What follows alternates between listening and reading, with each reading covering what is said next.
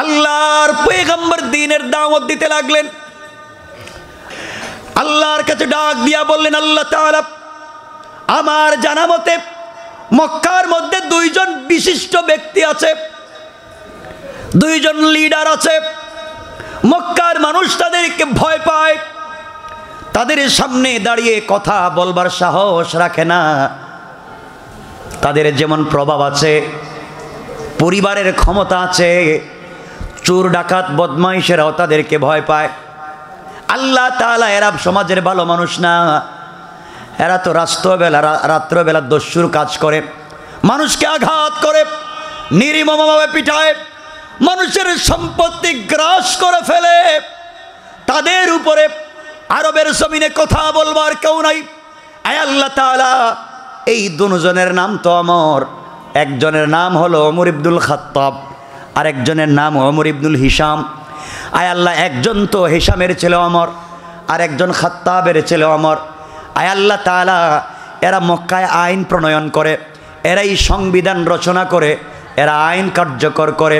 মক্কার যুবকেরা, মক্কার নারী পুরুষের এদেরই পিছনে পিছনে ঘুরে, এই দুইজনের একজনকে, আমি দুইজন অমর তোমার কাছে চাইলাম না আল্লাহ তাআলা মক্কার বর্বর জাতিকে গোটা দুনিয়ার মানুষকে দিনের পথে নিয়ে আসবার জন্যে, ইসলামের পথে নিয়ে আসবার জন্যে, কোরআনের পথে নিয়ে আসবার জন্যে, সঠিক পথে নিয়ে আসবার জন্যে দুইজন অমরের প্রয়োজন নাই। আল্লাহ তাআলা, তুমি যদি একজন অমরকে কবুল করে নাও, আমার বিশ্বাস একজন অমরের মাধ্যমে এই জমিনে দিন জিন্দা হয়ে যাবে কনসুবহানাল্লাহ আল্লাহ রসুল বলতে চাইলেন আল্লাহ আমি আমার অবজারভেশনে বুঝতে পেরেছি। আমি আমার জ্ঞান এবং মেধা খাটিয়ে বুঝতে পেরেছি। এই সমাজের মানুষকে দিনের পথে নিয়ে আসতে হলে দুই অমরের কোনো প্রয়োজন পড়বে না। একজন অমর হলেই চলবে। একজন অমরের মাধ্যমে সমাজ প্রতিষ্ঠা হয়ে যাবে। আজও আমরা আল্লাহর কাছে বলতে পারি, আল্লাহ তাআলা তুমি বলেছ, এই জমিনে আর কোনোদিন নবী দিবা না। আমরাও তোমার কাছে নবী চাই না। কিন্তু এই গোটা বিশ্বের নিপীড়িত মুসলমানদের পক্ষে, গোটা বিশ্বের নিপীড়িত মজলুম মানুষের পক্ষে একটা অমরই কণ্ঠস্বরের দরকার। এমন একজন মানুষকে অমর বানাইয়া পাঠাইয়া দাও যে বাইতুল মুকদ্দাস থেকে, যে মদিনা থেকে আওয়াজ করবে, যে দুনিয়ার যে কোনো জায়গা থেকে আল্লাহ আকবরের ধ্বনি দিবে। মুসলমানরা দাঁড়িয়ে যাবে। কাফেরেরা কথা বলবার সাহস থাকবে না, ঠিক কিনা বলেন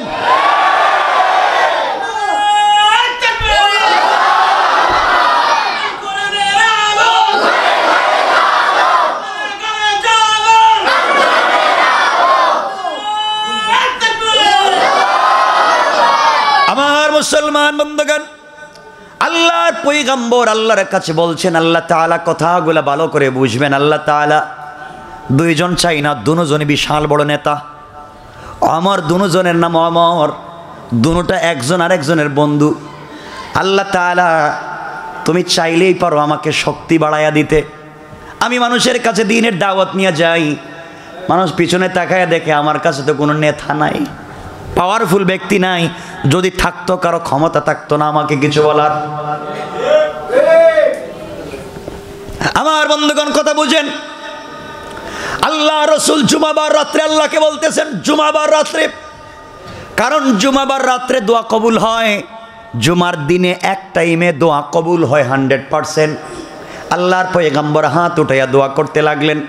দুই আমর থেকে আহাদিল অমর আইন দুজন অমর থেকে একজন অমরকে হৃদায়ত দান কর। আল্লাহ মাহদি আল্লাহ হৃদায়ত দান করে, দোয়া করে দিলেন। আমার বন্ধুগণ, বিশ্বনবী দোয়া করলেন। এদিকে মক্কার সকল লিডারেরা একত্রিত হয়েছে, কাবা চত্বরে বসেছে, সকল কাফের বেঈমানেরা বসেছে।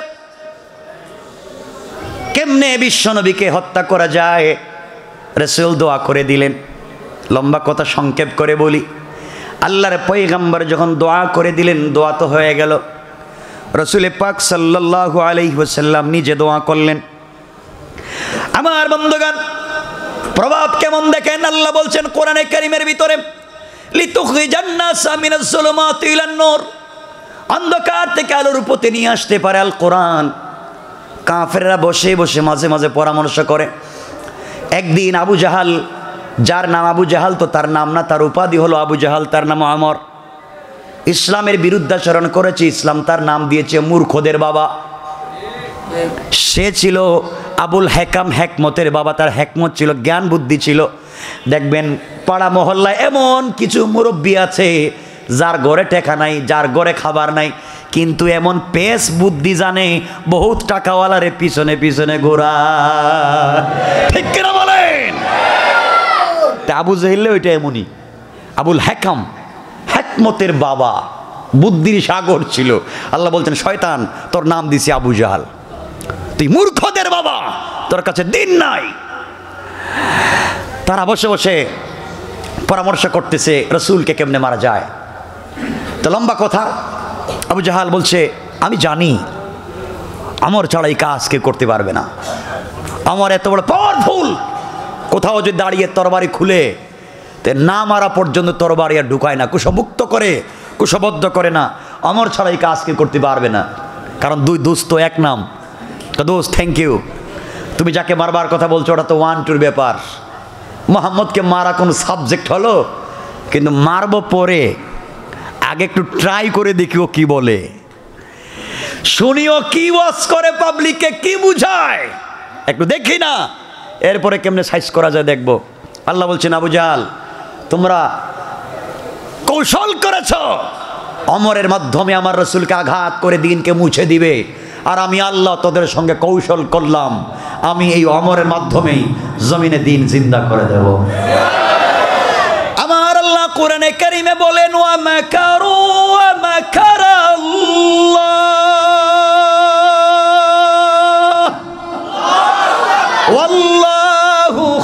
খাইরুল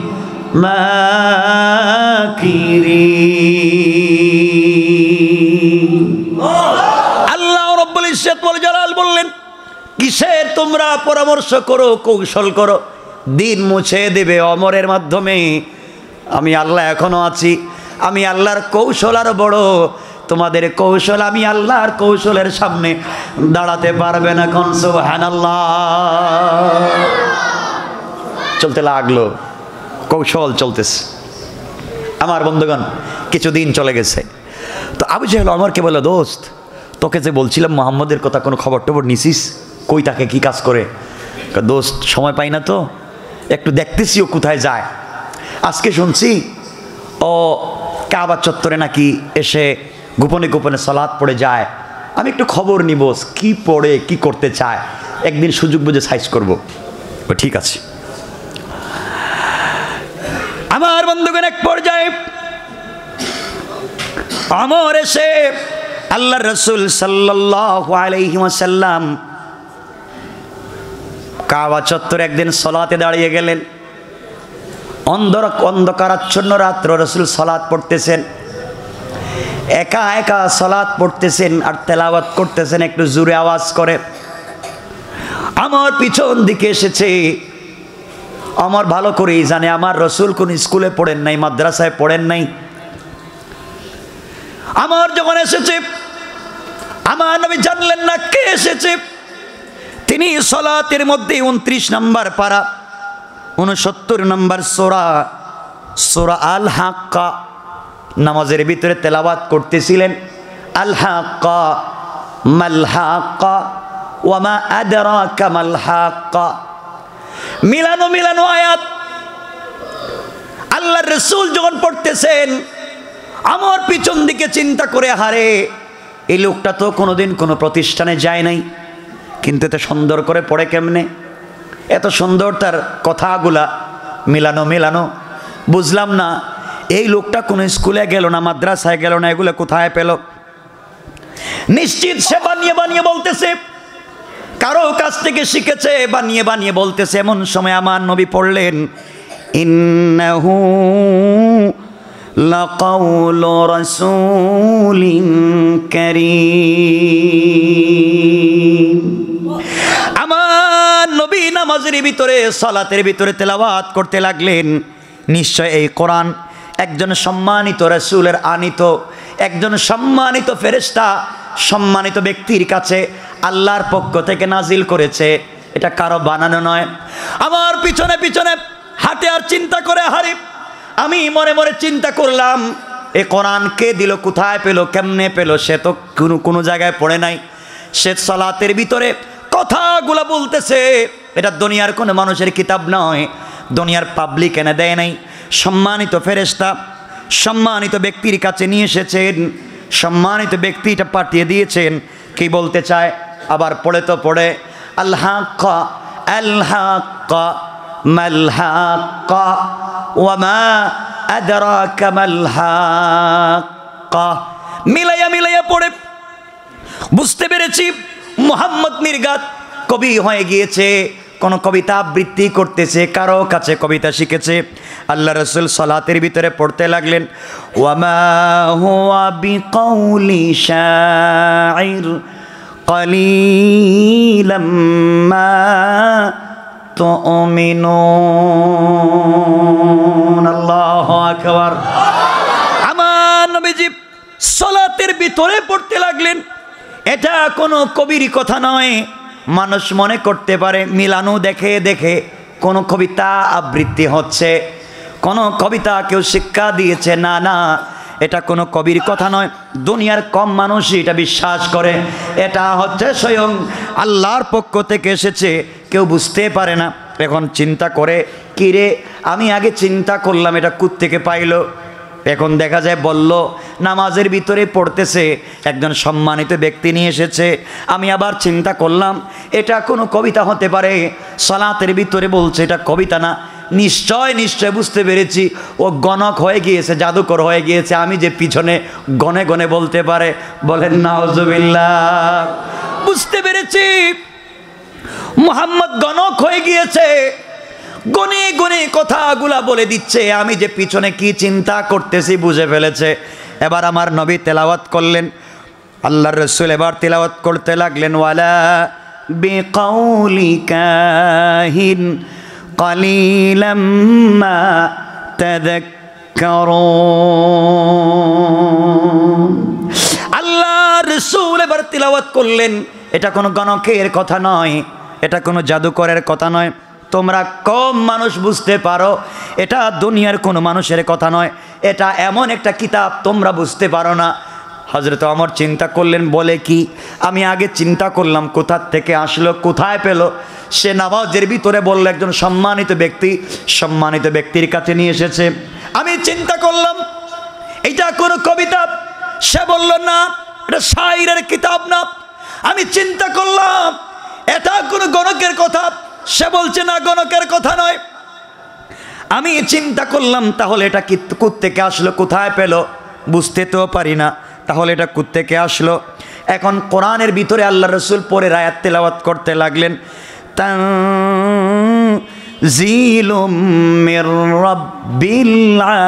আলামিন। আল্লাহু আল্লাহ রসুল এবার তিলাওয়াত করলেন এটা বিশ্ব পালন কর্তার কাছ থেকে অবতীর্ণ হয়েছে। আমি যেমন যে গোলাম, যে আল্লাহর গোলাম, দুনিয়ার সকল মানুষ যেই রবের গোলাম, সেই রবের পক্ষ থেকে একজন সম্মানিত ফেরেস্তার মাধ্যমে আমার কাছে এসেছে, পড়েন সোবাহান আল্লাহ এবার আমার আশ্চর্য হয়ে গেলেন ব্যাপার কি? আমি যেই কথাগুলা বলি সকল কথার উত্তর দেখি সলাতের ভিতরে দিয়ে দে, তো বুঝতেই পারলাম না। কোথা থেকে কথাগুলা বলে? চিন্তায় পড়ে গেলেন। আসছিলেন খবর নেওয়ার জন্য, বাড়িতে পৌঁছে গেলেন। গড়ে গিয়ে একা একা চিন্তা করে না, হারে। যেই লোকটার পিছনে লাগলাম মারবার জন্য, ও তাহলে কি? এক এক দিন এক এক কথা বলে, এত সুন্দর তার তেলাওয়াত। তার তেলাওয়াত শুনতে মন চায়, তার কথাগুলো শুনতে মন চায়। তার শুনতে মন চায়। আমারের ভিতরে যে শক্ত দিল ছিল, আস্তে আস্তে নরম হতে লাগল। আল্লাহ আকবার বলেন। এক সপ্তাহ হয়ে গিয়েছে হজরত আমর আর তাদের সম্মেলনে যায় না, তাদের প্রোগ্রামে যায় না। কারণ আল্লাহ বলছেন লিতো খরি জান্নাসা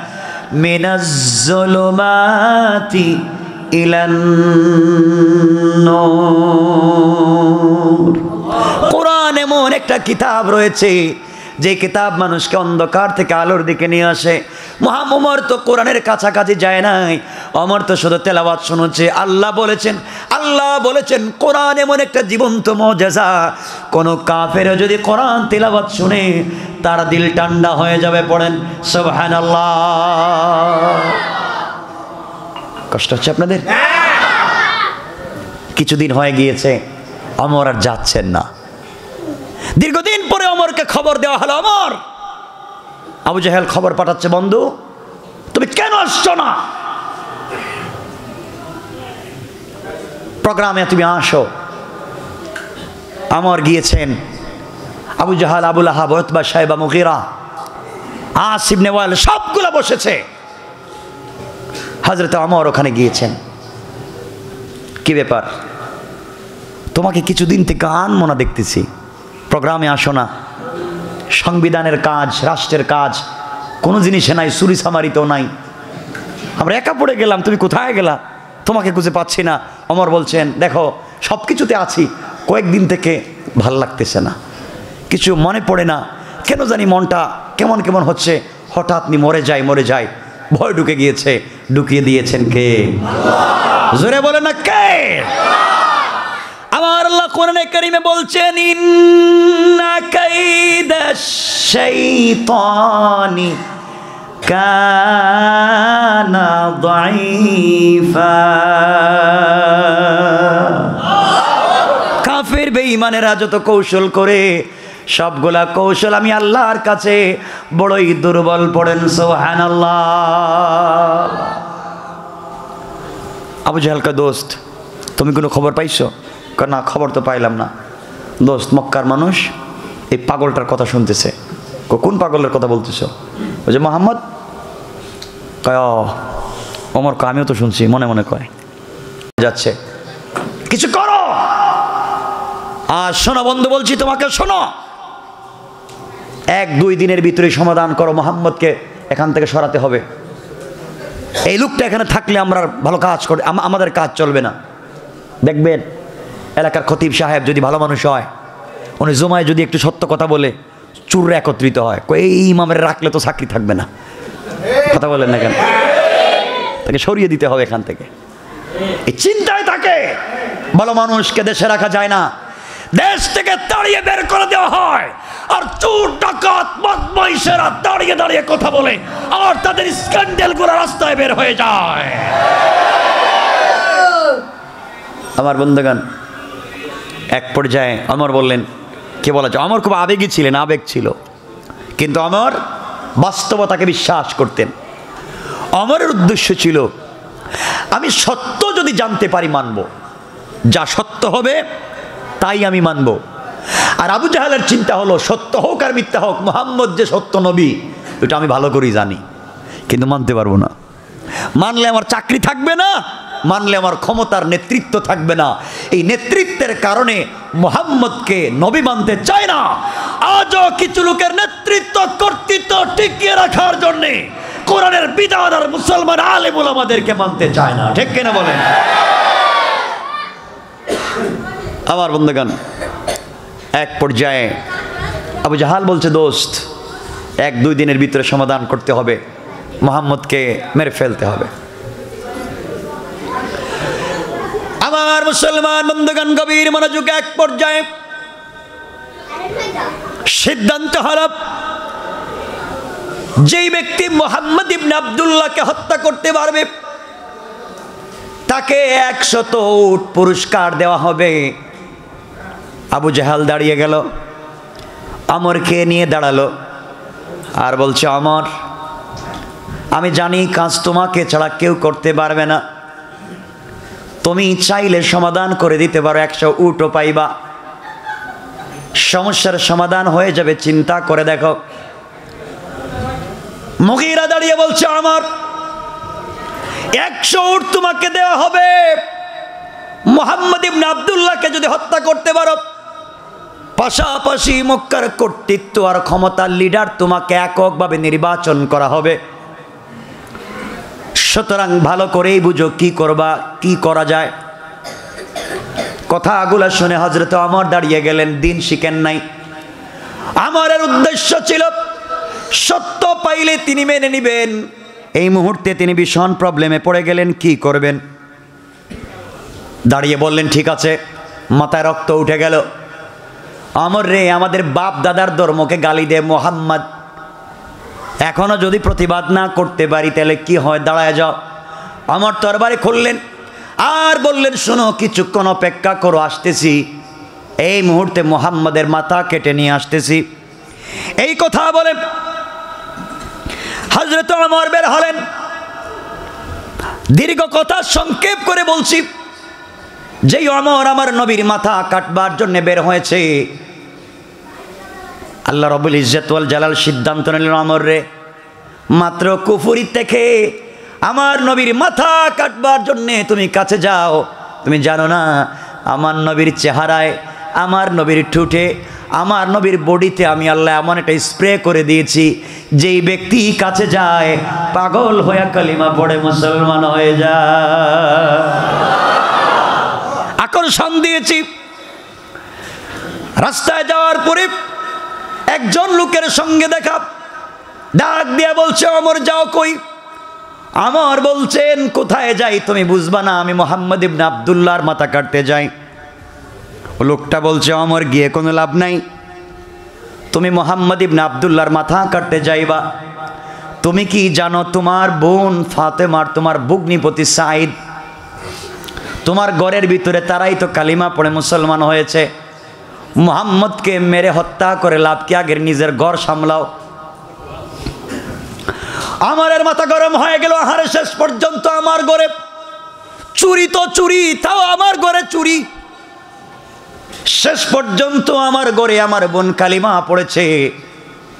এই কথা চিন্তা করে হজরত আমার। নিজে বিশ্ব নবীর ঘরে না গিয়ে চলতে লাগলেন নিজের বোন ফাতেমার ঘরের দিকে। হজরত আমরের বোন ফাতেমা আর তার স্বামী সাইদকে ওই সময় রসুলের একজন প্রিয় সাহাবি হজরতে খাব্বাব কোরআন থেকে সুরায় তহা শিক্ষা দিচ্ছিলেন, তালিম দিচ্ছিলেন, পড়াচ্ছিলেন। ঘরের দরজায় যখন অমর গিয়ে আওয়াজ করেছে মক্কার মানুষ যেমন বাঘের আওয়াজ, যেমন আমরা বাঘ আওয়াজ করলে সুন্দরবন এলাকার মানুষ বুঝতে পারে এটা বাঘের আওয়াজ। সুন্দরবন এলাকার মানুষ বুঝে এটা বাঘের গর্জন। মক্কার মানুষ যখন অমরের গর্জন শুনতো, তখন বুঝতো এটা অরিজিনাল অমরের গর্জন। আমার দরজায় আঘাত করে বলছেন, বল ফাতেমা, দরজা খুলে দে।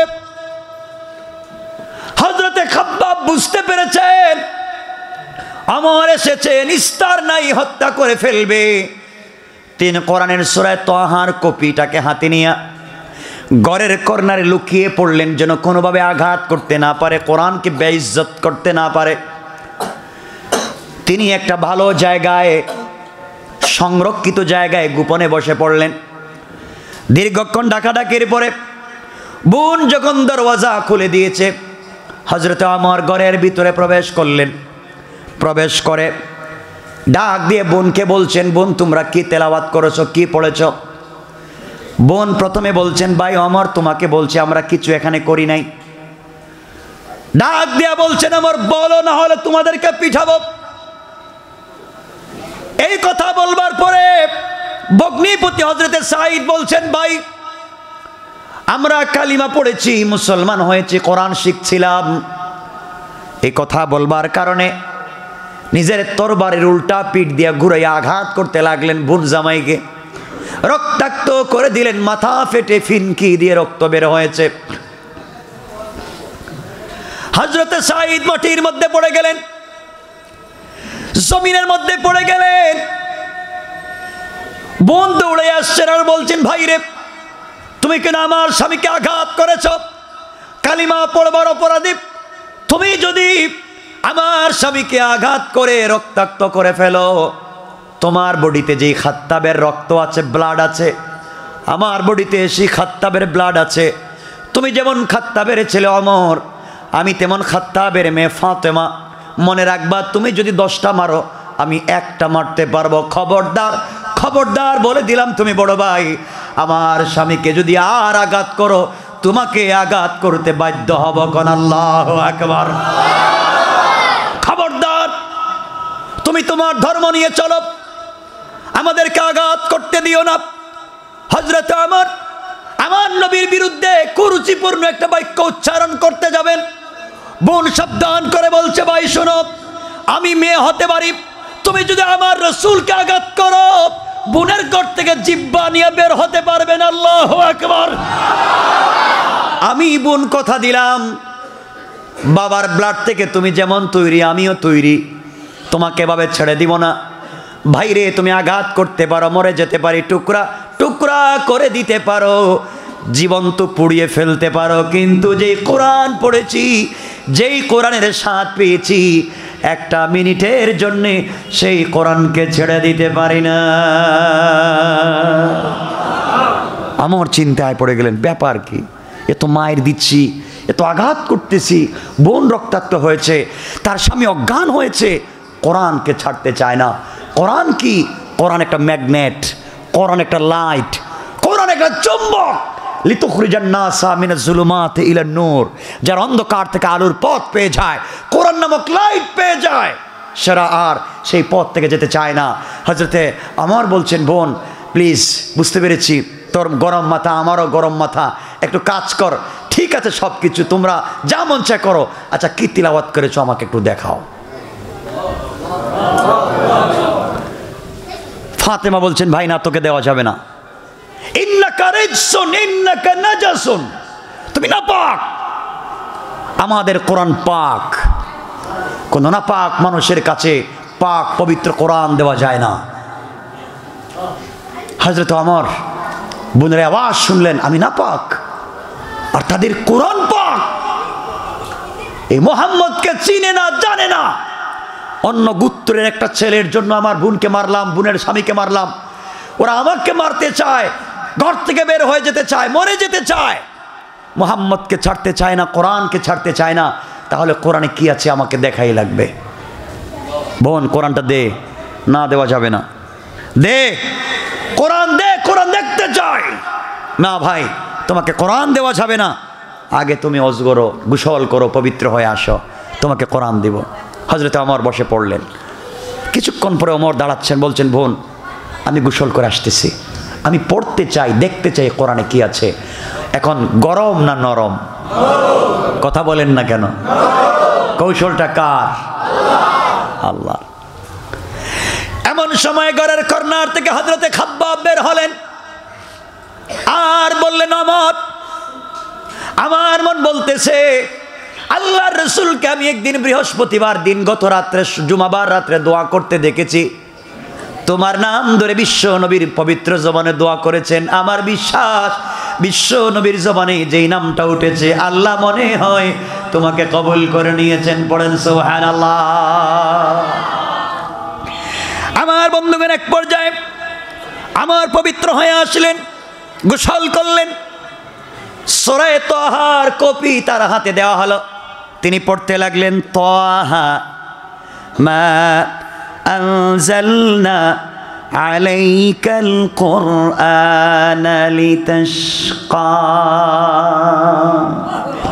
পড়তে লাগলেন পড়তে লাগলেন, তোহা আপনাকে কষ্ট দেবার জন্য আমি আপনার প্রতি কোরআন নাজিল করিনি।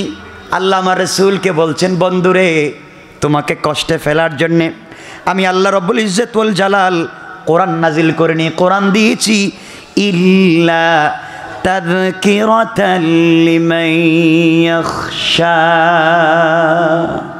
যারা দুনিয়ার জমিনে উপদেশ গ্রহণ করে বয় পায়, আমি আল্লাহ রব্বুল ইজ্জতুল জালাল তাদের জন্যে কোরআন দিয়েছি, পড়েন সুবহানাল্লাহ। আমার পড়তে লাগলেন এরপর আল্লাহ বলছেন তানজিলাম মিম্মান খালাকাল আরদা والسماوات العلا আল্লাহ আকবার আমার পড়তে লাগলেন এটা তার কাছ থেকে অবতীর্ণ। আল্লাহর কাছ থেকে অবতীর্ণ তিনি তো তিনি, যিনি নবমণ্ডল, ভূমণ্ডল সমুচ্চ দুনিয়া সৃষ্টি করেছেন, তার কাছ থেকে এই কোরআন এসেছে, পড়েন সোহান আল্লাহ তিনি কে? কোথায় থাকেন? আমার এবার চিন্তা করলেন, কোরআন এসেছে আল্লাহর পক্ষ থেকে, তাহলে আল্লাহ কই? তিনি বা কে? পড়তে লাগলেন পরের আয়াত। আল্লাহ রব্বুল ইজ্জত জালাল বললেন আর রহমানু আলাল আরশিস আল্লাহু আকবার। তিনি তো সেই রব যিনি আরও সে সমাসীন আছেন। তিনি কে? লাহু মা ফিস সামাওয়াতি ওয়া মা ফিল আরদি ওয়া মা বাইনাহুমা ওয়া মা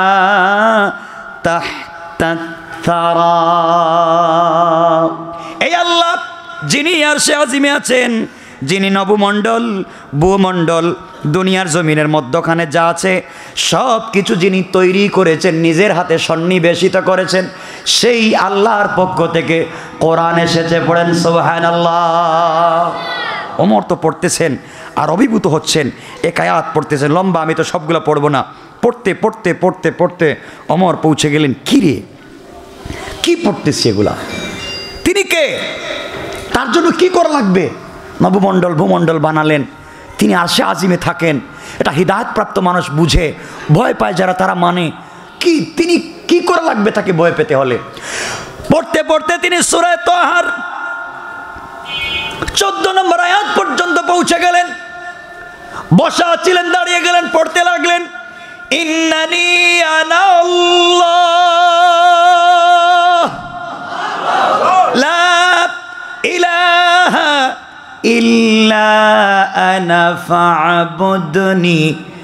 ওয়া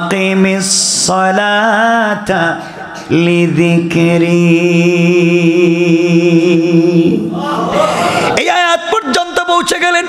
যেখানে আল্লাহ বলছেন, আমি ব্যতীত অন্য কারও ইলাহ নেই, অন্য কোনো ইলাহ নেই, অন্য কোনো উপাসনা করার জায়গা নেই। আর কারও ইবাদত করা যাবে না। সুতরাং ইবাদত হবে একমাত্র আমার। আর আমার সম্মানার্থে তোমরা দাঁড়াও, তোমরা বসো। ও আকিমি সলাত আলী জিক্রি আমার সম্মানের জন্যে, আমার নাম নেওয়ার জন্যে তোমরা দাঁড়াও, তোমরা বসো, রুকু করো, সেজদা করো সলাৎ করো, সব আমার জন্যে এক পর্যন্ত পৌঁছে গেলেন। হাতে তো আমার আর দাঁড়িয়ে থাকতে পারলেন না। চিৎকার করে বোনকে ডাক দিয়ে বলছেন, বোন রে, আমার কাছে আমাকে ধর, আমার শরীরটা কাঁপতেছে। ভয় পেয়ে যাচ্ছি। হয়তো ভুল পথে দদিন ছিলাম আমি এক পড়বার পরে। আমার দিলের মধ্যে কি যেন একটা ঠান্ডা বাতাস ধাক্কা দিয়েছে। বোন দেরি করা যায় না। কোথায় আছেন মোহাম্মদ ইবনে আবদুল্লাহ? আমাকে নিয়ে যা নিয়ে যা, দেরি করতে চাই না। এই মুহূর্তে কালিমা পড়ে আমিও ইসলামের সুশীতল ছায়াতলে আসতে চাই।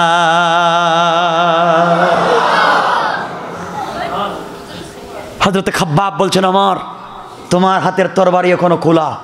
আর তোমরা কিন্তু বড় কৌশলী মানুষ। আমার ভয় হচ্ছে কালিমার নাম ধরে রসুলের কাছে গিয়ে রসুলকে কোনোভাবে হ্যারাসমেন্ট করতে চাও। হজরত আমার বলছেন, খাব্বাব, তুমি আমাকে ভালো করেই চিনো ভাই। আমার ভয় হচ্ছে, আমার শরীর কাঁপতেছে। আমি যা আজকে তেলাওয়াত করলাম, এই মুহূর্তে যদি আমি মরে যাই, আল্লাহ বলছেন, ইন্নানি আল্লাহ একমাত্র তিনি রব। আর তার জন্যই এবাদত করতে হবে। তার পায়ে সেজদা দিতে হবে। আমাকে তোমরা এখন পবিত্র বানাও। মোহাম্মদের কাছে নিয়ে যাও। হজরত খাব্বা বলছেন, আমার মন বলছে, তোমার প্রতি আল্লাহ দুই রসুলে পাক দুই অমরের জন্য দোয়া করেছেন। হয়তো আল্লাহ তুমি অমরকে কবুল করেছেন। সোহান আল্লাহ বললেন না। আপনারা কষ্ট পাচ্ছেন? আমার বন্ধুগণ, বুঝাতে চাই, লিতুখরিজান না সামিনে জুলুমাত ইলান নূর। মানুষ কেমনে কোরআন দিয়ে অন্ধকার থেকে আলোর দিকে আসে? আর আমরা কোরআনের তাবিজ বানাইয়া কলজার ভিতরে রাখছি। তাও কাজ করে না। কথা বলেন না কেন? কোরআন পড়তে পড়তে তিরিশ বারা মুখস্থ করেছি। তাও কাজ করে না। কারণ কোরআন এই কাজের জন্য শুধু আসে নাই। কোরআন হচ্ছে পূর্ণাঙ্গ সংবিধান। দা ব্যক্তি জীবন থেকে নিয়ে পার্লামেন্ট পর্যন্ত সকল জায়গা চলবে কোরআন দিয়ে। আমার বন্ধুগান হজরত আমার হজরত আমার রদি আল্লাহ রসুল পাক সাল্লাহ ইসলামের দরবারে যাচ্ছেন। সাথে বোন ফাতেমার মাথা বাদা ফাটিয়ে দিয়েছেন মাথা। সাইদের মাথা ফাটা। হজরত খাব্বাব দৌড়ে গেছেন রসুল পাকের কাছে রসুল আল্লাহ অমর আসতেছে। অমর আসছে। রসুল পাকের কাছে বসা ছিলেন হজরত ওসমান হজরত আলী, আর দাঁড়িয়েছিলেন হজরতে হামজা, রসুলের চাচা। হামজা বলছেন, বাতিজা আমি অমররে বিশ্বাস করি না। ও যতই তোমার কাছে আসুক, আমার ভয় হচ্ছে তোমাকে ক্ষতি করবে। আমার হাতে জুলফিকারটা উঠাইয়া দাও। অমর আসার আগে আগে আমি তাকে দুনিয়ার থেকে উঠাইয়া দিই। সে মনে করেছে সে বড় লিডার। আমি বেঁচে থাকব হামজা। আর আমার বাতিজাকে আঘাত করবে, নবীজি দাঁড়িয়ে বললেন, মুচকি হেসে চাচা বসে যাও। জিবরিল আমিন এসে বলছে, অমর মারতে আসে নাই, বরং তার তরবারিটা আমার কাছে রাইখা, তার কলিজাটা দিনের জন্য দিতে আসতেছে। আল্লাহ আকবর। হজরতে আলী দাঁড়িয়ে গেলেন। হজরতে হামজা দাঁড়িয়ে রইলেন। হজরতে আমার বিশ্ব নবীর সামনে কাছাকাছি চলে গেলেন। নবীজি সাল্লাহ আলাইসাল্লাম যখন অমরকে আসতে দেখলেন, তরবারিটা খোলা, কাদের মধ্যে ফেলে দিয়েছে চুকের পানিতে গাল ভিজে যায়।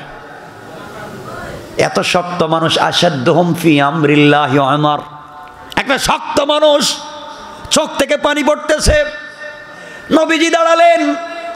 আমার যখন বিশ্বনবীর চেহারা মুবারক দেখেছেন, তরবারিটা ফেলে দিলেন। নিচে রেখে দিলেন। আর নবীজির দিকে তাকাতে লাগলেন, নবীজি মুচকি হাসলেন। আমার বন্ধুগণ, বিশ্ব নবী, যখন মুচকি হাসতেন, তার পুরাটা চেহারা লালচে বর্ণে হয়ে যেত, লাবণ্যময় চেহারা।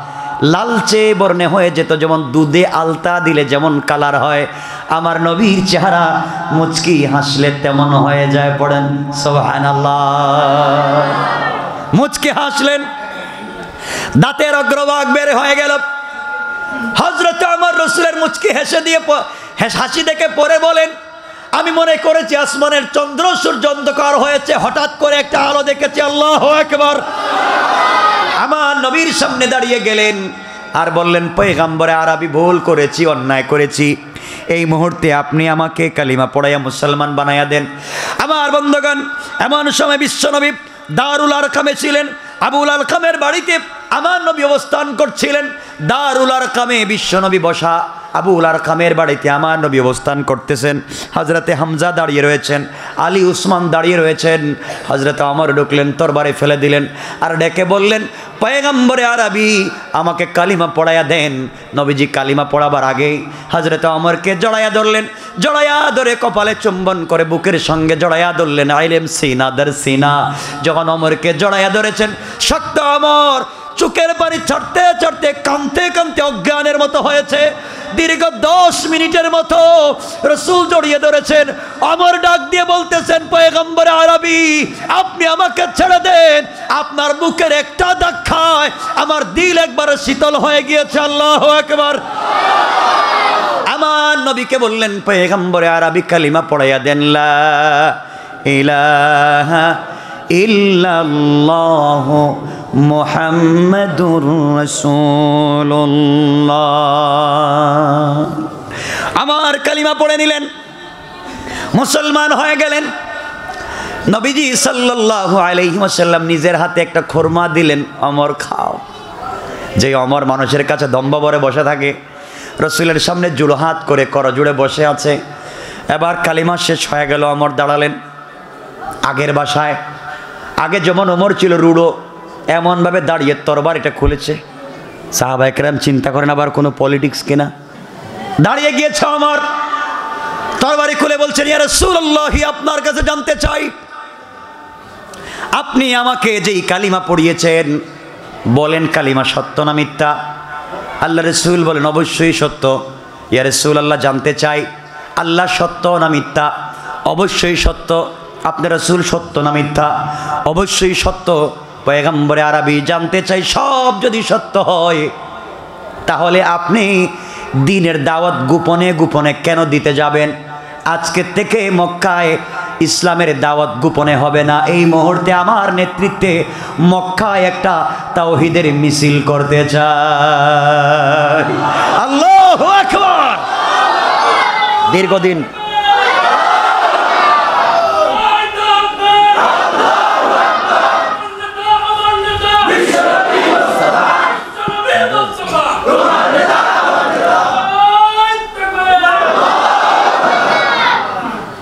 রসুলে পাক বলছেন আমার বসো। তুমি মিছিল করবা। তুমি জানো মুসলমান কয়জন? এ রসুল্লাহ বলেন আপনি। আমি গনে দেখলাম তুমি সহ এগারো জন। এগারো জন মানুষ নিয়া আর গোটা দুনিয়ার কাফেরদের মোকাবেলায় তুমি মিছিল করবা। আমার বলেন, এ রসুল্লাহ এটা জটিকা মিছিল হবে। তরবারি থাকবে আমার হাতে। আমার হাতে থাকবে তরবারি। আর মক্কার কোন কাফের যদি তার ছেলেকে এতিম করতে চায়, তার স্ত্রীকে বিধবা করতে চায়, তার মায়ের বুককে খালি করতে চায়, আমি অমরের সামনে আসবে। না হয় আজকের দিনে মক্কার সকল উঁচা পাহাড়ে কালিমার পতাকা আমার হাতে টানাইয়া দিব, আল্লাহ আকবার বলে। আমার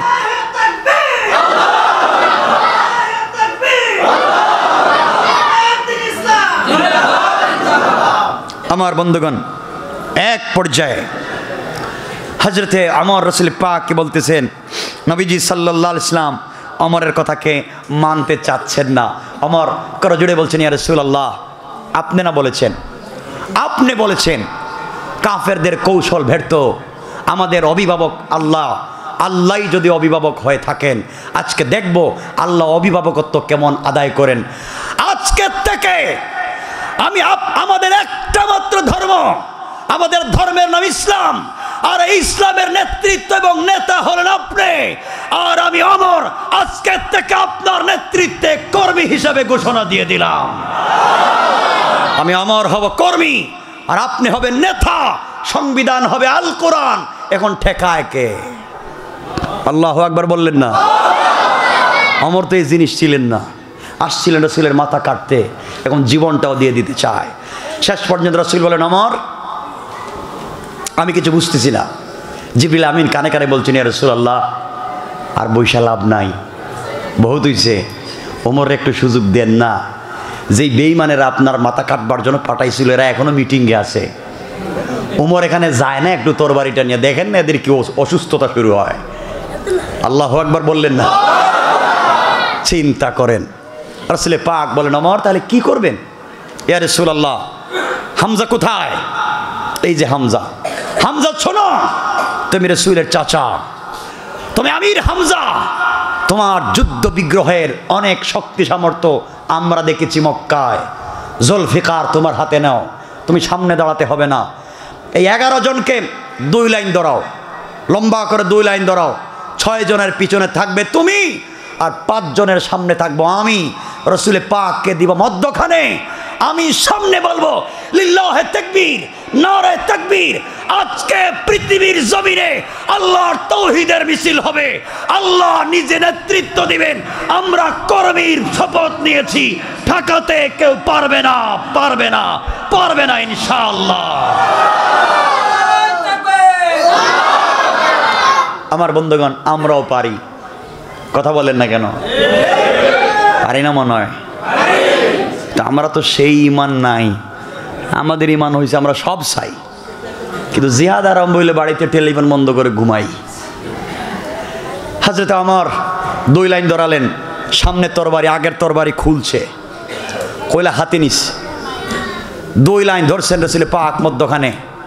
হাজরতে হামজা পিছনে। লম্বা লাইন।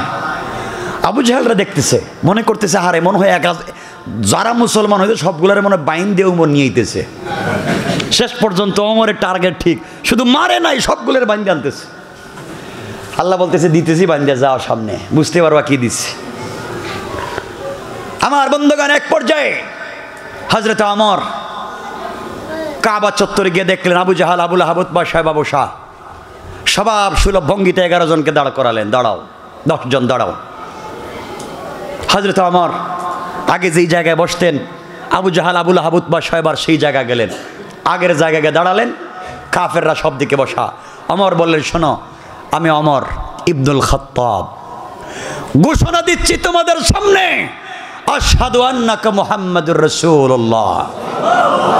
মুহাম্মদ আল্লাহর রাসূল, আমাকে তোমরা দিয়েছিলে, হত্যা করবার জন্য কৌশল করেছিলে। আর আমার আল্লাহ আমার জাদু করে তোমাদের সামনে পাঠিয়ে বলছেন, আবু জাহাল, কালিমা পড়ো, আর যদি মায়ের বুককে খালি করতে চাও, আমার সামনে দাঁড়াও। আবু জাহেল বলতেছে, দোস্ত, তোর কি মাথা খারাপ হয়েছে নাকি? হঠাৎ করে গরম হয়েছিস কেন? হজরত অমর তোর বাড়িটা হাতি নিয়ে ঘুরাইতেছে। আবু জাহেলের দিলে কাঁপতেছে আবার নি, মায়ের শুরু করে নাকি আমরা আবু জাহাল বলতেছে, দোস্ত, কি হয়েছে আমি মুসলিম। কথা বলে দিলাম, আজকের থেকে এখানে নামাজ হবে। ডিস্টার্ব করতে পারবা না। দিনের দাওয়াত, কালিমার দাওয়াত হবে। আমার নেতৃত্বে দাওয়াত হবে। তোমাদের সাহস থাকলে আটকাইও। আসো এখন, খেলা হবে।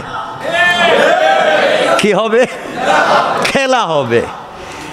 ওমরের সাথে আর খেলে কে? আবু জেল দাঁড়ায় বলছে, ভাই, আজকের প্রোগ্রাম মুলতবি ঘোষণা করইল। আমার কাজ আছে, আমি বাসায় গেলাম। আবু জাহেল বলতেছে, আমারও কাজ আছে।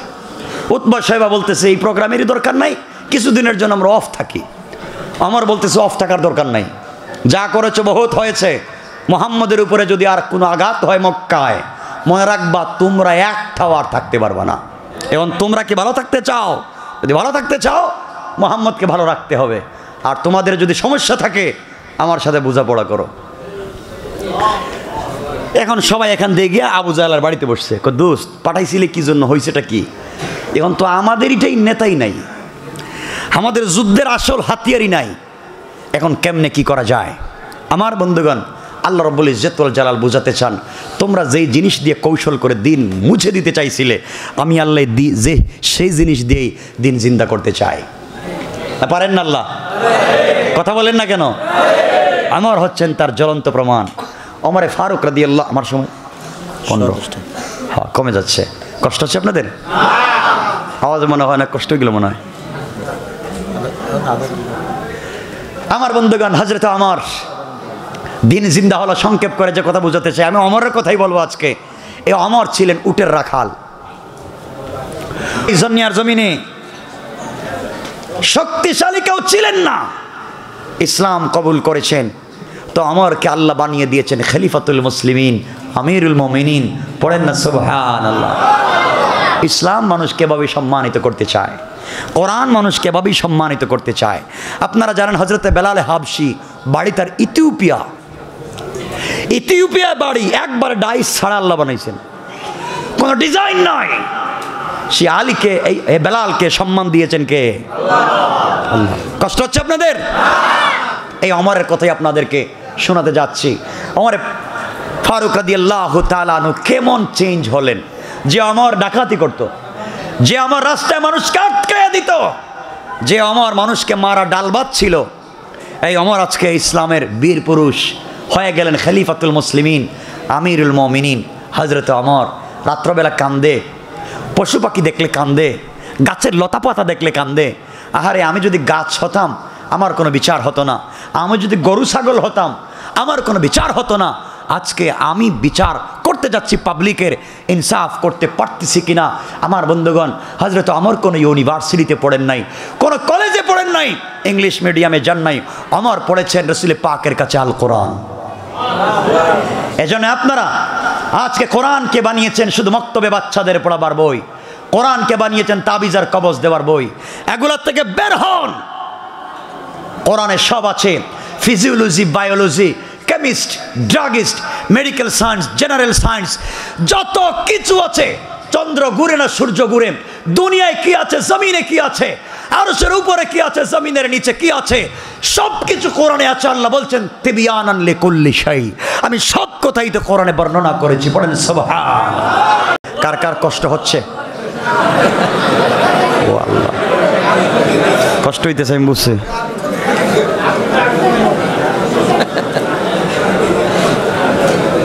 আমি আপনাদেরকে সেদিকে নিয়ে গিয়েই আলোচনা শেষ করব। আমার বন্ধুগণ, আসেন আমরা সামনের দিকে যাই। খুব সংক্ষেপ করে কথাগুলা বলে আমরা শেষ করতে চাইব, ইনশাআল্লাহ। আমার বন্ধুগণ, খালিফাতুল মুসলিমিন, আমিরুল মমিনের কথা বলতেছিলাম। এই অমর কেমনে চেঞ্জ হলেন সে কথা আপনাদেরকে বলিয়ে, অমরের মাধ্যমে সমাজ কি হয়েছে সে কথা আপনাদেরকে বলতে চাই। মুসলমান বন্ধুগণ, গভীর মনোযোগ। কিতাবের নাম মনে রাখবেন। আল্লামা জারুল্লাহ জামাকশরি তাফসিরে কাশাফে লিখেন। আমার বন্ধুগণ, তারিখে ইবনে জারির তাবারিতে লিখে, খালিফাতুল মুসলিমিন, আমিরুল মুমিনিন, এই দুনিয়ার জমিনে যখন ইসলামের দ্বিতীয় খলিফা হয়ে গেলেন ইসলামের দ্বিতীয় খলিফা হজরত অমর আপনাদেরকে চমৎকার একটা ঘটনার দিকে নিয়ে যাচ্ছি। কেমনে দিন শিখবেন, কেমনে দিন বুঝবেন, সামাজিকভাবে কেমনে কোরআনকে ফলো করবেন আপনারা চিন্তা করেন। এক পর্যায়ে হজরত আমরের কাজ হল আমার যখন খালিফা, রাত্রবেলা তিনি ঘোরাঘুরি করতেন। মানুষের খবর নিতেন, এগুলা কমন বিষয়, আপনারা জানেন। হজরত আমার গভীর রাত্রে ঘোরাঘুরি করতেন। একদিন গভীর রজনীতে হজরত আমার ঘর থেকে বের হলেন। দীর্ঘ পথ চলবার পরে গ্রাম ছেড়ে একটা মরুভূমির কাছাকাছি পৌঁছে গেলেন।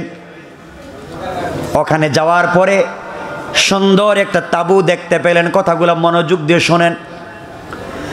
হজরত আমার একটা তাবু দেখতে পেলেন। তাবুর কাছাকাছি পৌঁছে গেলেন। বাহির থেকে দেখেন তাবুর ভিতরে মিটমিট করে একটা লাইট জ্বলতেছে। গনগন করে কি যেন আওয়াজ আসতেছে। হজরত আমার তাবুর কাছাকাছি পৌঁছে গেলেন। শুনেন, এই ঘরের ভিতর থেকে, তাবুর ভিতর থেকে গানের আওয়াজ আসতেছে। আমার আশ্চর্য হয়ে গেলেন এই রাষ্ট্রের খালিফা আমি অমর। এই রাষ্ট্রের সংবিধান আল কোরআন।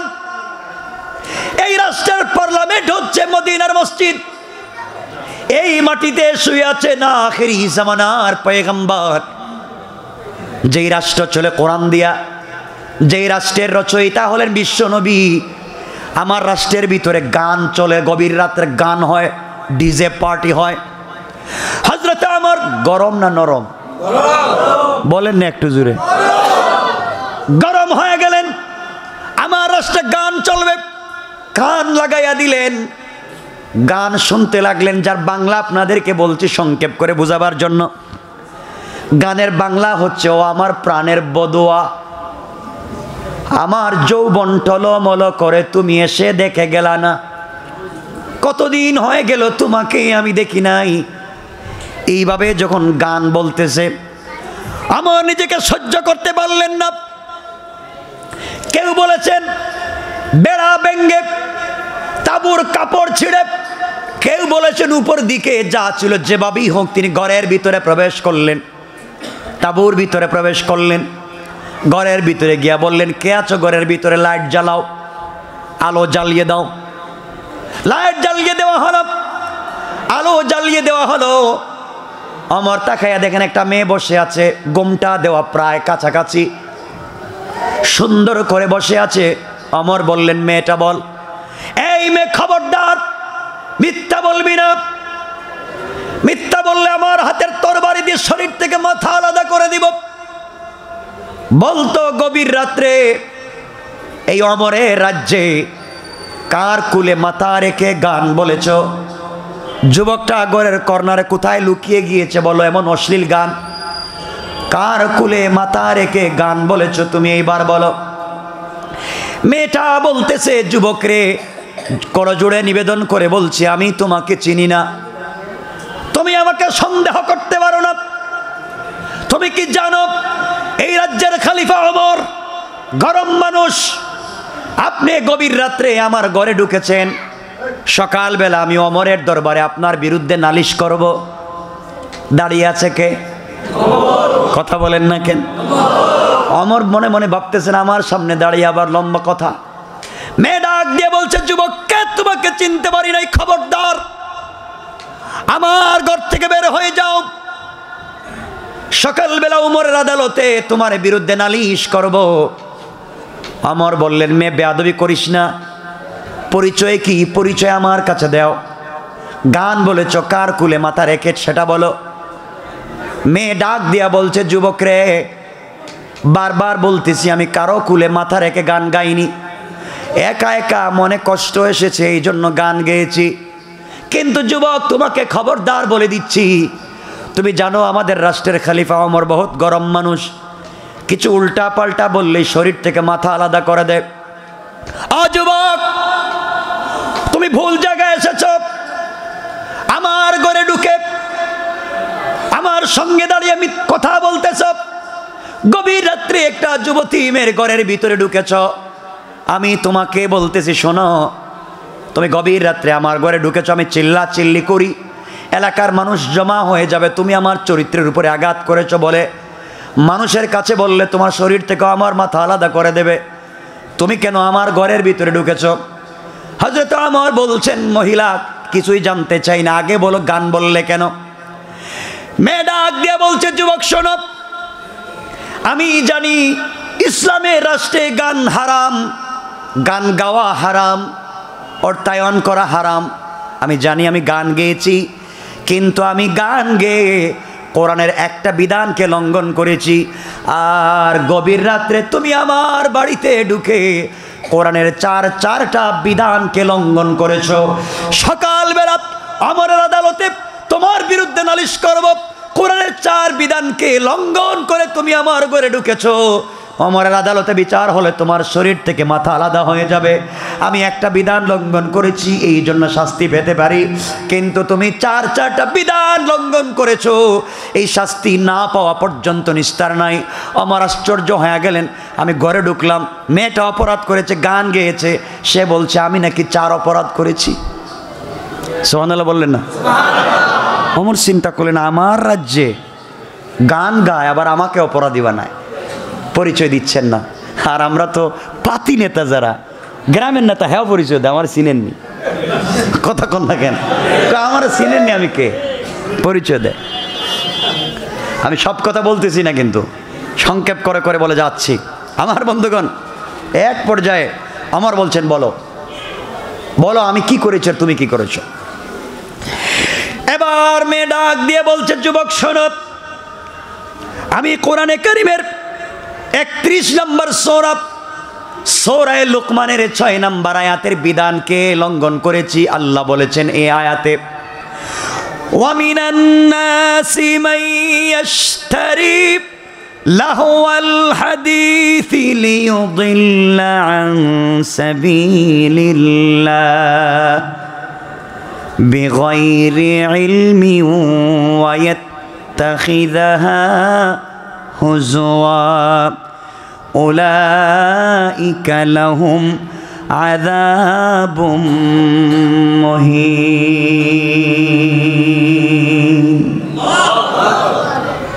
আজবাক আল্লাহ বলেছেন কোরআনে কারীমের 31 নম্বর সূরা সূরা লুকমানের 6 নম্বর আয়াতে আল্লাহ বলছেন, এক শ্রেণির লোক আছে যারা মানুষকে আল্লাহর পথ থেকে গুমরাহির গুমরা করার উদ্দেশ্যে অনর্থক কথাবার্তা বলে, অনর্থক অন্ধভাবে মানুষকে টাট্টা বিদ্রুপের মাধ্যমে ভুল পথে নিয়ে যায়, গান, বাজনা অশ্লীল বাদ্যযন্ত্রের মাধ্যমে ভুল পথে নিয়ে যায়। ও যুবক, এই আয়াতের ব্যাখ্যা অনুযায়ী আমি গান গেয়েছি, অশ্লীল গান, এই জন্য অন্যায় করেছি। এই জন্য আমার শাস্তি হবে। আমি গান গেয়েছি, এই জন্য অপরাধ করেছি। আমার একটা মাত্র অপরাধ, আমি গভীর রাত্রে গান গেয়েছি। এটা আমার অপরাধ। তুমি চার চারটা বিধান লঙ্ঘন করেছ। এই আয়াতের মাধ্যমে আল্লাহ যত গান আছে, ট্যাপ রেকর্ডারের গান, টিভির গান, সিডির গান, মোবাইলের গান, ইউটিউবের গান, মহিলার গান, পুরুষের গান, ছেলের গান, মেয়ের গান, পৃথিবীতে যত গান আছে, বাদ্য আছে, এই আয়াতের মাধ্যমে আল্লাহ সবগুলাকে হারাম করেছেন, পড়েন সোহান আল্লাহ আল্লাহ গানকে হারাম করেছেন আর আমাদের দেশের কিছু মসজিদ মাদ্রাসার সভাপতি গানের মজলিসে আরামের সাথে সভাপতি হয় ঠিক কিনা বলে সুরগুলারে চিনেন না। যাকে এগুলো বাদ। আজকে সব কথা বললে আবার শেষ করব কখন? আমার বন্ধগান ভালো করে মনে রাখবা যুবক আজকে আমরা কোন পথে পরিচালিত হচ্ছি? হাজরতে অমরকে মেয়েটা বলছে যুবকরে আমি কোরআনের একটা বিধানকে লঙ্ঘন করেছি। আর তুমি আমার ঘরে ঢুকে কোরআনের চার চারটা বিধানকে লঙ্ঘন করেছ। এবার হজরত আমার বললেন, যুবতী, মেয়ে বলো, আমি তোমার ঘরে ঢুকে কি করলাম, কি বিধানকে লঙ্ঘন করলাম? বলো তো আমি কি করেছি, তুমি একটা অপরাধ করেছ, আমি কি করলাম? এবার মেয়ে ডাক দিয়ে বলছে, আপনার এক নাম্বার অপরাধ, আল্লাহ রব্বুল ইজ্জতুল জালাল কোরআনে কারিমের দুই নাম্বার পারা, দুই নাম্বার সোরা। সোরা আল বাকারার একশো উননব্বই নম্বর আয়াতে আল্লাহ রব্বুল ইজ্জত ওয়াল জালাল বলছেন ইয়াসআলুনাকা আনিল আহিল্লাহ قل هي مواقيت للناس والحج وليس البر بأن تأتوا البيوت من زهورها ولكن البر من اتقى وأتوا البيوت من أبوابها واتقوا الله لعلكم تفلحون আজ বাক আল্লাহ রাব্বুল ইজ্জত ওয়াল জালাল কোরআনে কারীমের দুই নাম্বার পরে দুই নাম্বার সূরা সূরা আল বাকারার 189 নম্বর আয়াত আল্লাহ রাব্বুল ইজ্জত ওয়াল জালাল বলছেন, তোমার নিকট যারা জিজ্ঞেস করে নতুন চাঁদের বিষয়ে, বলে দাও, যে এটি মানুষের জন্য সময় নির্ধারণ এবং হজ্জের সময় ঠিক করার জন্য বানানো হয়েছে। অযুবক এই কথাগুলো এই আয়াতের প্রথম অংশে আল্লাহ বলছেন দ্বিতীয়াংশে আল্লাহ বলছেন তোমরা যদি কারও ঘরের ভিতরে ঢুকো পিছনের দরওয়াজা দিয়ে কোনো মানুষের ঘরের ভিতরে প্রবেশ করো না। আল্লাহ এই আয়াতের ভিতরে বুঝাতে চান, তোমরা যদি মানুষের ঘরের ভিতরে কোনো দরকারে প্রয়োজনে ঢুকতে হয়, তোমরা পিছনের দরওয়াজা দিয়ে ঢুকবা না। ওয়ালা কিন্নাল বিরমানিত্তাকা ওয়াতুল বুয়ুতা মিন আবওয়াবিহা। তোমরা যদি আল্লাহকে ভয় করো, বিশ্বাস করো, মানুষের ঘরে ঢুকবার সময় সদর দরওয়াজা দিয়ে ঢুকো মেইন দরওয়াজা দিয়ে ঢুকো, চুরের মতো, ডাকাতের মতো, বদমাইশের মতো, পিছনের দরওয়াজা দিয়ে ঢুকো না। অযুবক তুমি আমার ঘরে দরওয়াজা দিয়ে ঢুকো নাই, আমার বেড়া ভেঙ্গে তাবুর কাপড় ছিঁড়ে উপর দিয়া চুরের মতো, ডাকাতের মতো ঢুকেছ। আর আল্লাহ বলছেন কারও ঘরে ঢুকতে হলে সিস্টেম হলো দরওয়াজা দিয়ে ঢুকো। আর তুমি ঢুকেছ পিছন দিক দিয়া। সুতরাং এই জায়গায় তুমি কোরআনের এই আয়াতকে লঙ্ঘন করেছ, পড়েন সোহান আমার আশ্চর্য হয়ে গেলেন কিরে মেয়েটা এটা বুঝলো কেমনে? তাহলে কোরআন বুঝে ঘরে কোন রাস্তা দিয়ে ঢুকতে হবে? আল্লাহ বলছেন, ওয়াতুল বুয়ুতামিন আবওয়া বিহা ঘরে ঢুকলে তোমরা কোন দিকে ঢুকো? সামনের দরওয়াজা দিয়া মেইন দরওয়াজা দিয়ে ঢুকো। চুরের মতো পিছনের দরওয়াজা দিয়ে ঢুকো না। ওয়াত্তাকুল্লাহ আল্লাকুম তুফলিহন। তোমরা নিজেদের বাসনায় কৃতকার্য হতে পারবে অন্যায় করবে না। আমার বন্ধুগণ কথা যদি তাই হয় আজকাল আমরাও মানুষের ঘরে চুর চামারের মতো ঢুকে যাই। আর কথা বলেন না কেন? চোরের মতো প্রবেশ করি। তোমার সম্পর্ক একজনের সাথে চুরের মতো মেইন দরজা রাইখা ছাদের উপর দিয়া, হেই, ভাঙ্গিয়া ভঙ্গিয়া ঢুকতেছ, হারাম। হালাল না হারাম? হজরত অমর বললেন সত্যি তো দেখতেছি আমার একটা ভুল হয়ে গেছে। আমি তো ঘরের মেইন দরজা ঢুকলাম না, কিন্তু মেয়েটা এটা বুঝলো কেমনে? মেয়ে কথাটা বুঝলো কেমনে? বলেন, ঠিক আছে, বুঝলাম। আমার দ্বিতীয় ভুলটা কি তুমি এটা বলো। এবার এই মেয়ে বলছে, যুবক, তাহলে শোনো, তুমি দুই নাম্বার ভুল করেছ। কোরআনে কারিমের আঠারো নম্বর পারা চব্বিশ নম্বর সৌরভ সৌরায় নূরের সাতাইশ নম্বর আয়াতে আল্লাহ রাব্বুল ইজ্জত ওয়াল জালাল বলছেন, ইয়া আইয়ুহাল্লাযীনা আমানু লা তাদখুলু বুয়ুতান গায়রা বুয়ুতিকুম হাত্তা তাস্তানিসু ওয়া তুসাল্লিমু আলা আহলিহা ذلكم خير لكم لعلكم تذكرون الله أكبر আল্লাহ রব্বুল ইজ্জত ওয়াল জালাল কোরআনে কারিমের আঠারো নম্বর পারাব চব্বিশ নম্বর সৌরভ সৌরায় নূরের সাতাইশ নম্বর আয়াতে আল্লাহ বলছেন যারা মুমিন তোমরা নিজেদের ঘর ব্যতীত অন্য মানুষের গ্রহে যখন মানুষের গৃহে যখন তোমরা প্রবেশ করো, তোমরা অবশ্যই লাতাদ হলো বইউতান তোমরা নিজের ঘর ছাড়া অন্য মানুষের ঘরে ঢুকবা না। আর ঢুকতেই যদি হয়, হাত্তা তাস্তা নিসু অবশ্যই তোমরা ইজাজত নিয়ে, অনুমতি নিয়ে ঘরের ভিতরে পরিচয় দিয়ে প্রবেশ করো। আল্লাহ রব্বুল ইজ্জতুল জালাল বলছেন, নিজের ঘরে ঢুকবার জন্যে না, অপরিচিত মানুষের ঘরে ঢুকতে হলে অবশ্যই তোমরা অনুমতি নিয়ে, ইজাজত নিয়ে পরিচয় দিয়ে ঢুকো। যুবকরে, তুমি আমার ঘরে ঢুকতে অনুমতি নেও নাই, ইজাজত নেও নাই, পরিচয় দেও নাই। তুমি কোরআনের এ আতকে লঙ্ঘন করেছ। সকালবেলা ওমরের আদালতে তোমার বিরুদ্ধে নালিশ দিব। আমার মন বলতেছে, যে অন্যায় তুমি করেছ, মাথা নিয়া বাড়িতে যাইতে পারবে না। অমর কো এবার ধরা পড়ছে জাগা মতোই। সুবহানাল্লাহ বললেন না। কত মানুষের বিচার করলাম আমি নিজে। আর আজকে ঠিকই তো দেখতেছি, মানুষের ঘরে ঢুকবার সময় পরিচয় দিতে হয়, অনুমতি নিতে হয়। অমরকে অনুমতি নিছেন? কথা বললেন না কেন? মেয়েটা চিন্তা করে দুটা বলছে, অমর এখন নরম হয়ে গেছেন। আগে ছিলেন দাঁড়ানো, তরবারে ছিলেন খোলা, তরবারে কুশবদ্ধ করে বগল তলায় নিয়ে মাটিতে বসে গেছে। ক বোন, এখন বোন কইতেছে, আর কি কি ভুল করছি আমি? ভুল করছেন তো অনেক। আপনি যেতে পারবেন না। আমি এখানে অমরকে খবর দিয়ে আনব। অমর বলছেন তুমি অমররে কোনোদিন দেখছ? না অমরে তো দেখি নেই। অমররে কোনোদিন দেখি নেই। তার কথা শুনেছি, প্রশংসা শুনেছি, তার পাওয়ার শুনেছি, তার ক্ষমতা সম্পর্কে আমি ভালো করেই জানি। সুতরাং আমার ভয় হচ্ছে, আপনি সকালবেলা কি হবে? অমর বলছেন, বোন, তাহলে তিন নাম্বার ভুলটা কি? ওটা আমার কাছে একটু বলো। এবার মেয়ে বলতেছে, যুবক, তাহলে তোমার তিন নাম্বার ভুলটা জানো।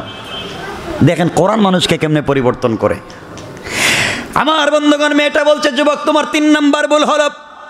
কোরআনে কারিমের আঠারো নম্বর পারা চব্বিশ নম্বর সৌরভ সুরায় নূরের একষট্টি নম্বর আয়াতের শেষ দিকে আল্লাহ বলছেন, একষট্টি নম্বর আয়াতের শুরুর দিকে আল্লাহ বলছেন, লাইসা আলাল আমা হারাজু আলাল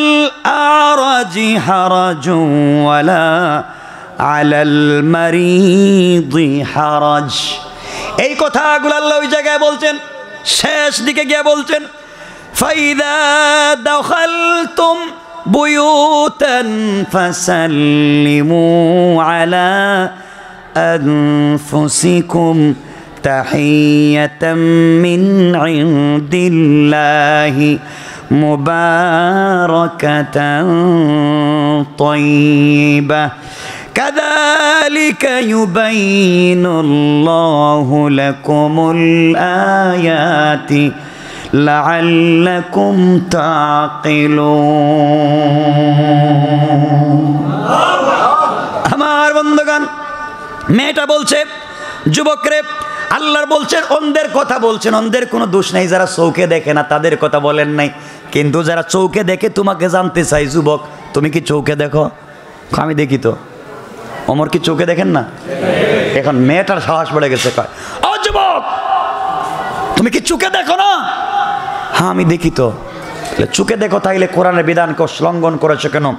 আল্লাহ বলেছেন, তোমরা যখন কারও ঘরে ঢুকবে, ফাইদা দাখাল তুম বুয়ুতান, তোমরা যদি নিজের ঘরেও ঢুকো, ফাসাল্লিমু আলান ফুসিকুম তোমরা অবশ্যই সালাম দিবে।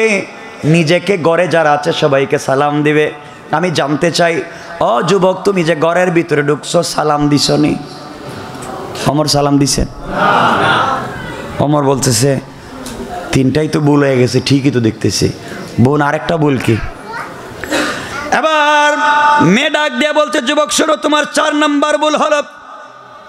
আল্লাহ কোরআনে কারিমের ছাব্বিশ নম্বর পারা, উনপঞ্চাশ নম্বর সৌরভ সোরায় হুজরাতির বারো নম্বর আয়াতে আল্লাহ রব্বুল ইজ্জাতুল জালাল বলেছেন يا أيها الذين آمنوا اجتنبوا كثيرا من الظن.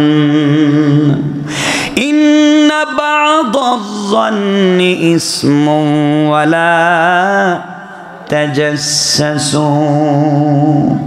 ولا يغتب بعضكم بعضا.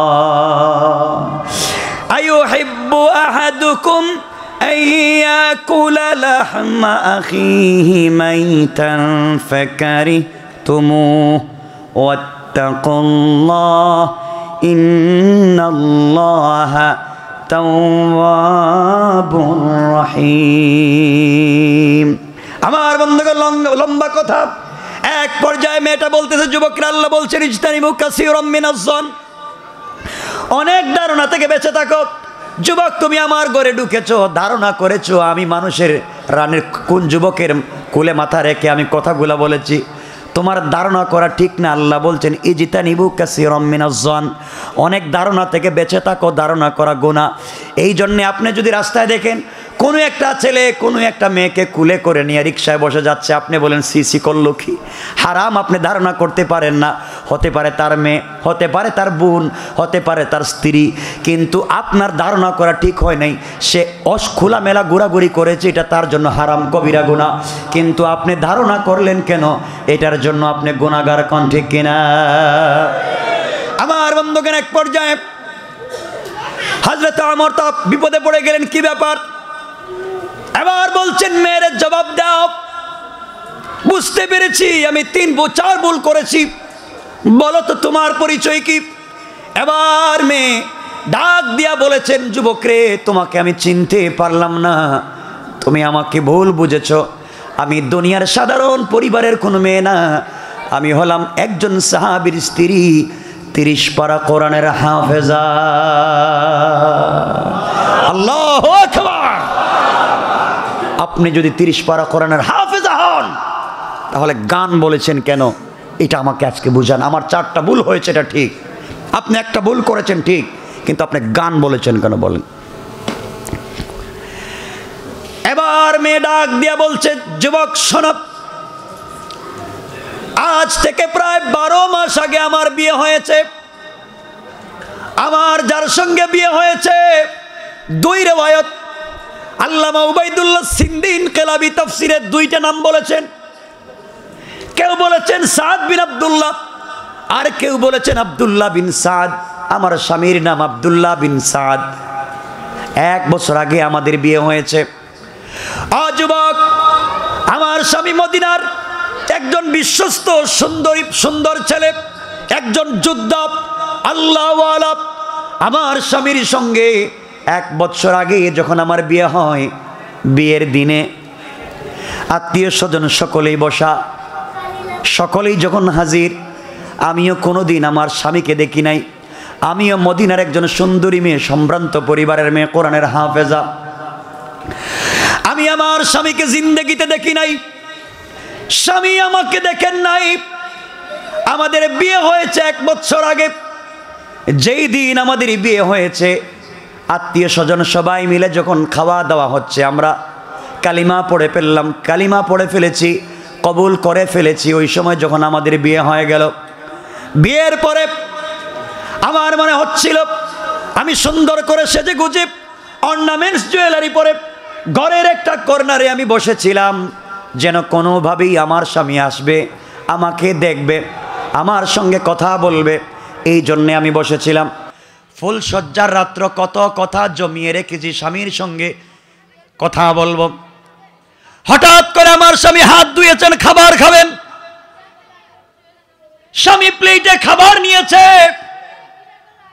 এমন সময় একজন দূত, একজন কাসিদ আমার স্বামীর সামনে এসে সালাম দিয়ে বলছেন, এই প্রোগ্রামের ভিতরে আবদুল্লাহ বিন সাদ নামে কেউ কি আছে? স্বামী দাঁড়িয়ে বলছেন, আমার নাম আবদুল্লাহ বিন সাদ।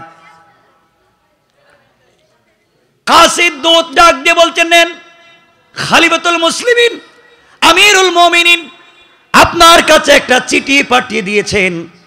চিঠিটা দেখেন, আমার স্বামী চিঠি খুললেন, চিঠি পড়লেন, চিঠিটা লাগায়া দিলেন।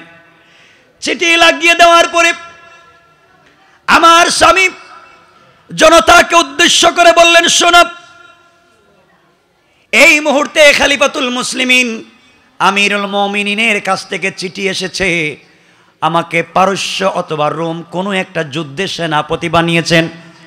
আমাকে চলে যেতে হবে, আমি চললাম। বেয়াদবি মাফ করবেন কারোর সঙ্গে কথা বলতে পারলাম না, দেখা হলো না। বেঁচে থাকলে আবার দেখা হবে প্রোগ্রাম এখানেই রেখে আমি চলে গেলাম। এই কথা বলে আমার স্বামী উঠে যাচ্ছেন। আত্মীয় স্বজন সকলে ডাক দিয়ে বলছেন, যুবক, অম, অমর তো আর আল্লাহর, অমরের কথা, অমরের চিঠি তো আল্লাহর বাণী না। এটা তো কোরআনের কথা না যে চেঞ্জ করা যাবে না। আজকে রাত্রে কমপক্ষে স্ত্রীর সাথে কাটিয়ে যাও। আগামীকালকে তুমি চলে যেও। এটাই থাকো কোমরের কথা মানা তো ফরজ না। অযুবক এমন সময় আমার স্বামী কোরআনে করিমের সুরায় নিসার উনষাট নম্বর আয়াত তিলাওয়াত করে বললেন ইয়া أيها الذين آمنوا أطيعوا الله وأطيعوا الرسول وأولي الأمر منكم আমার স্বামী তেলাওয়াত করে বললেন শোনো মুসলমানেরা আল্লাহ বলেছেন, শর্ত ছাড়া আল্লাহকে মানতে হবে, শর্ত ছাড়া বিশ্ব নবীকে মানতে হবে। এরপরে বলছেন, ওয়াউলিল আমরে মিনকম। আর যেই নেতা শর্তযুক্তভাবে আল্লাহ এবং রসুলকে মানে এমন নেতার অনুসরণ করতে হবে, যেই নেতা আল্লাহ এবং তার রসুলকে মানে না, এমন নেতার অনুসরণ করা যাবে না। আল্লাহ বলেছেন, কোরআনের আয়াতে, তোমরা এমন নেতার কর্মী হও যেই নেতা আল্লাহকে মানে যেই নেতা আল্লাহর রসুলকে মানে ওই নেতার কর্মী হও, ওই নেতার তোমরা অনুসরণ করো। সুতরাং বাংলাদেশে যেই নেতা আল্লাহকে মানে না আল্লাহ রসুলকে মানে না, এমন নেতার যাই হোক, তার কর্মী হওয়া যায় না। এমন দলকে সাপোর্ট করা যায় না, যেই দলের ভেতর আল্লাহ এবং তার রসুলের আনুগত্য এবং দাসত্ব নয়, ঠিক কেন বলেন?